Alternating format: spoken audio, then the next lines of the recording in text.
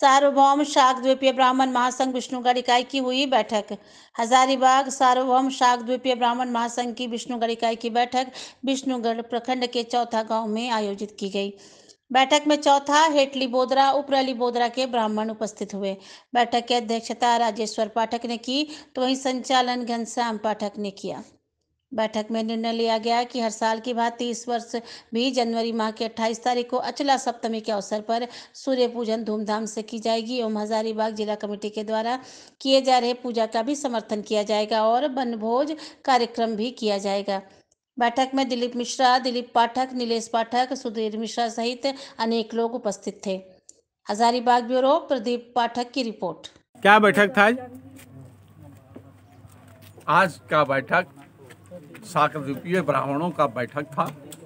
इसमें से यही निर्णय लिया गया है कि अगला 28 जनवरी 2023 को साकद्वीपीय ब्राह्मण मिल करके सूर्य अचला सप्तमी का पूजन किया तो आज पाँच वर्षों से चला आ, आ रहा है। उसी के संबंध में निर्णय लिया गया कि इस बार भी धूमधाम से सूर्य सप्तमी का पूजन किया कहाँ पर पूजन कीजिएगा?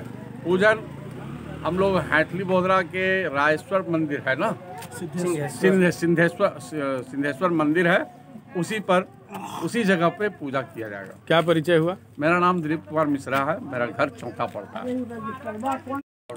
क्या बैठक थी आज? क्या निर्णय लिए?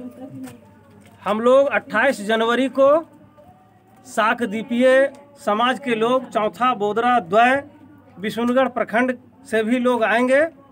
सूर्य सप्तमी का जो त्यौहार है, हम लोग पिछले पाँच वर्षों से नियमित करते आ रहे हैं और इस बार भी बढ़ चढ़ करके सूर्य सप्तमी का कार्यक्रम को मनाने का निर्णय लिए हैं। उस दिन सूर्य भगवान का अर्घ, हवन और पूजन करने के उपरांत सभी स्वजाति अपने मिलजुल करके वनभोज का भी कार्यक्रम रखा गया है। और भगवान सूर्य से हम लोग आशीर्वाद लेंगे। क्या परिचय हुआ? घनश्याम पाठक सासा ब्राह्म महासंघ के हम जिला उपाध्यक्ष हुए। तो आपकी जिला कमेटी हजारीबाग भी कर रही है? हाँ जिला कमेटी हजारीबाग कर रही है प्रोग्राम को। हम लोग सब उसमें समर्थन में हैं लेकिन यहाँ से दूरी पड़ जाने के वजह से हम लोग यथावत जो पहले से करते आ रहे हैं अपने जगह को कायम रखने के लिए यहाँ भी कार्यक्रम को हम लोग करेंगे विधिवत। क्या कहना चाहते हैं?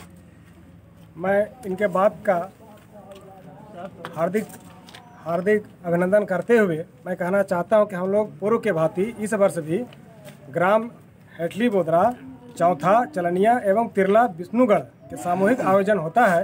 इसलिए इस बार बढ़ चढ़कर बड़े हर्षोल्लास के साथ निर्धारित समय और तिथि को देखते तिथि में इसको मनाया जाएगा।